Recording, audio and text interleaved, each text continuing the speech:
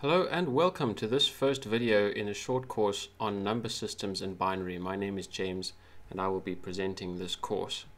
The purpose of the course is to prepare you for learning about digital electronics. It will also be of interest if you're studying computer science, digital signal processing, or simply if you have a desire to understand more of the workings of the technology which is all around us every day. In this course, we will learn about some different numeral systems, including the Hindu-Arabic number system that we most often use today, systems in different bases and conversions between them. This is something that often causes students to struggle, so I hope I'll be able to help you in this. The binary system, base 2, because of its relevance to electronics. Binary can easily be represented and manipulated by electronics, making the technology that we use today on a day-to-day -day basis possible various ways to represent binary numbers in electronics, arithmetic operations on binary numbers, the limits of this number system of which a designer and to some extent a user must be aware, and for enrichment, some more advanced applications of this sort of coding, which are not strictly binary but also have relevance in the world of electronics and computers. In today's video, we will look at what constitutes a numeral system. A numeral system is a collection of symbols and rules for manipulating these symbols which would allow us to represent numbers and operations on those numbers which would be difficult otherwise. The simplest and most ancient form of numerals is called in modern language unary, because it consists of simply repeating one symbol a number of times to indicate what that number is. Unary numerals are still in use today, though they're usually called tally marks. Their main application is the same as it was anciently, namely to count things.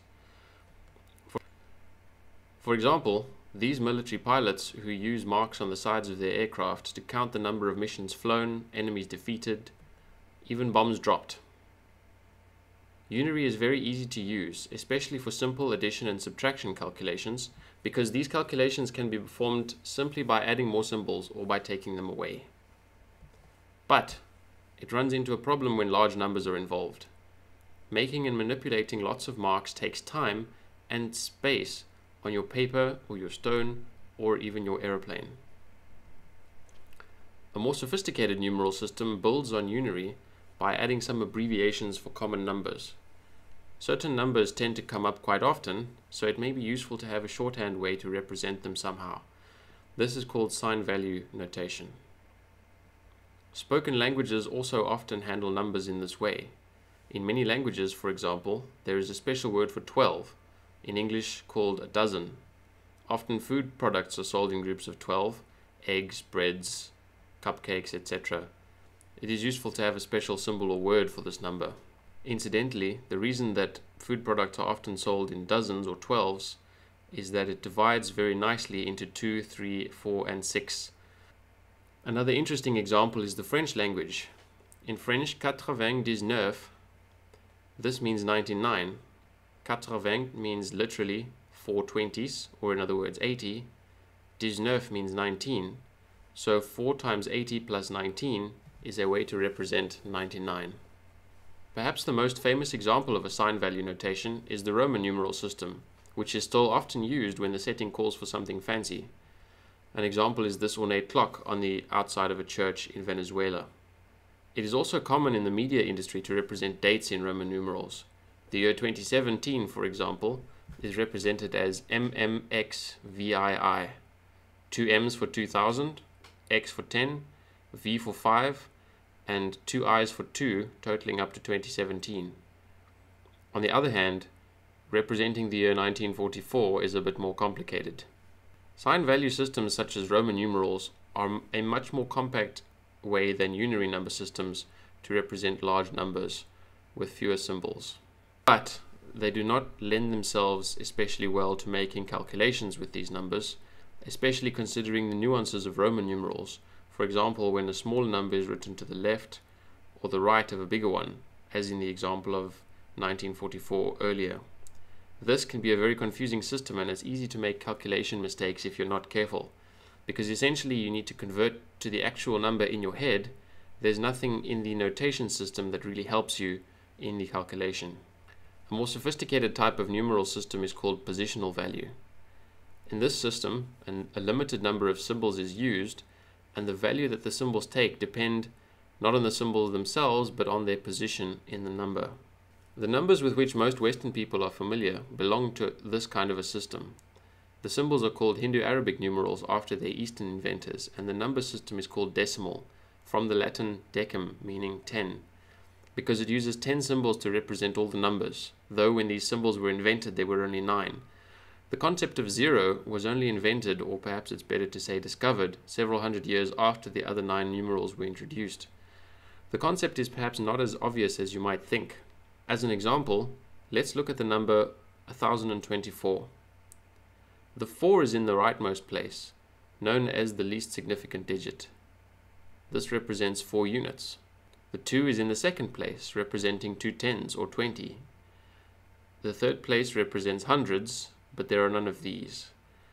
The fourth place represents thousands, and there is one of these. The total is therefore 1024. Up to now, it is similar in concept to sign value systems, a little bit more compact maybe, and with the addition of a zero. The real strength of a positional value system is in arithmetic operations. Considering the following example, if I want to add 1,258,934 plus 47,104.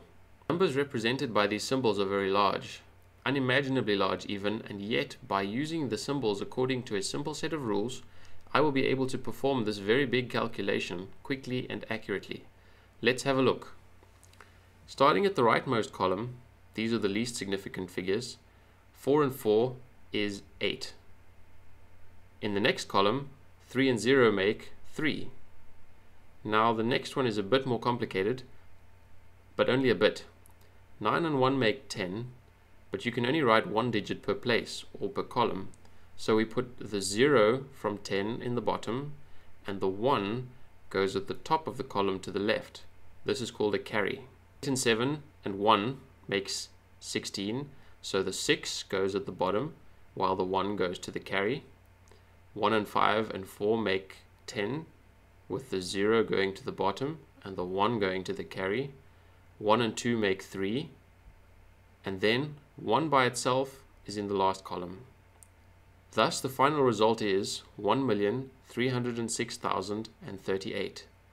Let's not take this for granted simply because it's something which gets taught to children in primary school. Just think about this.